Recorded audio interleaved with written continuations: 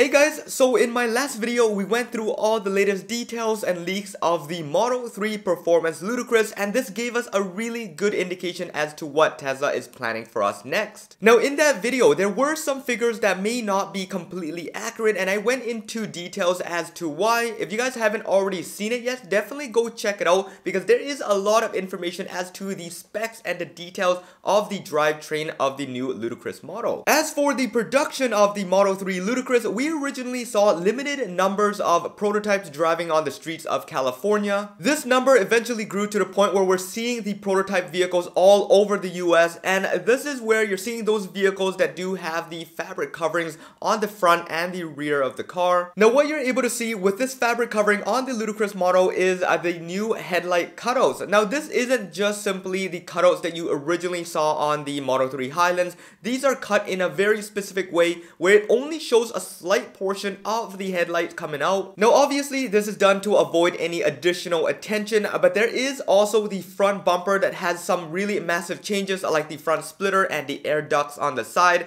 This is all things that Tesla does want to hide right now so the public doesn't get a chance to see it yet. Now fortunately for us we were able to recently see the entire wraparound the exterior of the full Model 3 Ludicrous seeing the rear badge, the spoiler and the rear diffuser and then on the front of it we also got to see the full exterior changes of the front bumper. So it seems like we've already seen the full exterior of the car and it doesn't seem like there is any wiggle room for Tesla to make any additional modifications to the car as they are now prepping up for production. All of these things that we have been seeing in these leaked videos here are exactly what you're going to be getting once you order the car and take delivery of it at a showroom. Now, there are a couple things here and there that we went into details in previous videos like the staggered wheel design, the new updated sport seats, and of course the new drivetrain that is the high highlight of this new upgrade. All of this is available in my Model 3 Highland playlist. If you guys want to check that out, I'll also have a link in the description below for that. But there is a ton of information if you guys want to get the latest scoop on everything Model 3 performance. So now let's talk about the most important thing here and the subject of this video and that is when you can be expecting the new Model 3 Ludicrous to be announced and available to order. Just late last year, Tesla's chief engineer in Australia, Daniel Ho, has given us some really good insight insight as to what we can be expecting with the new Model 3 performance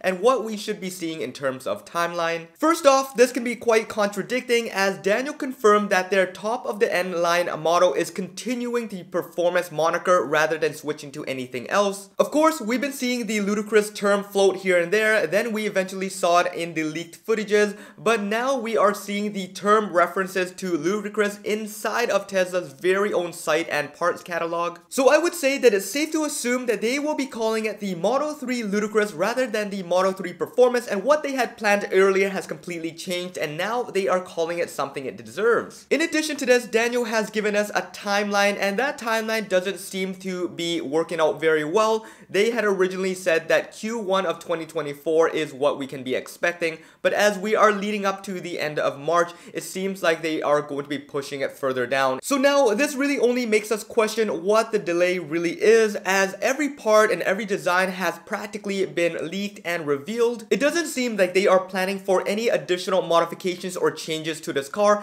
as they are very late in the game and they are preparing for the production. The real only possibility here that I could think of is for the regulatory approval to happen within all the countries they are planning to launch this new model. As we've also seen the latest certification for the Model 3 Ludicrous in the country of Korea, they are going through extensive testing for noise, emissions, and real world range. This is a very extensive process and being that this is a fairly large upgrade in terms of the power, performance, and drivetrain, there is a lot to be done before they get a okay from each and every country. So if I had to take a guess here, the design and production of the Model 3 Ludicrous was so last minute that they've only recently applied for the certification in each country and waiting for the word okay back. Now if this is true or not, there is one really good thing about all this this, and that is the fact that Tesla has a lot of additional time to really test the vehicle out and really perfect its design. And Tesla has done exactly that. They have expanded way outside of just North America. They are now testing in Europe and parts of Asia. We are starting to see the Model 3 Ludicrous prototype all over the world right now, and this is where we're going to be seeing the very best designs and the very best production of this new model. So yeah, if I had to revise my timeline here, I would say that they are going to announce sometime in late March to April and the production and deliveries are going to happen a few weeks after that. Now this is very conservative and I would say that it could possibly happen even earlier than that but there is also a chance that they are going to take a very long time with all these certification approvals and that may extend all the way until June. Now it may seem like my timeline is sort of ongoing but I'm just on the same boat as you guys and as long as I'm not in the Tesla marketing team I am pretty much in the dark. I will keep you guys as updated as possible as soon as I hear any news regarding the Model 3 Ludicrous and practically anything else. So definitely stick around and subscribe to the channel if you haven't already done so. Now fingers crossed here as we still have two more weeks inside of the month of March. So if there is an announcement, you guys will definitely hear it here on this channel. This should pretty much wrap it up for this one. I hope you guys enjoyed it. This is John once again. Peace out.